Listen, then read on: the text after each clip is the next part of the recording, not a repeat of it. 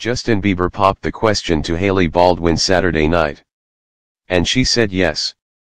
Two eyewitnesses who claim to have seen the proposal go down tell us it happened at a resort in the Bahamas. They say everyone was at a restaurant on the property doing salsa dancing when Justin's security told everyone to put their phones away, because something special was about to happen. We're told Justin then proposed in front of everyone.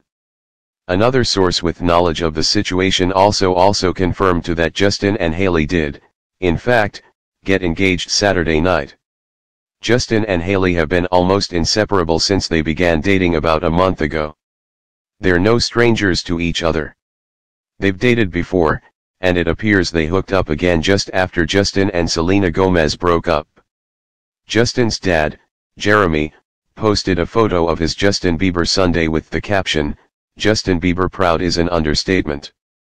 Excited for the next chapter. Jeremy himself just got hitched a few months ago.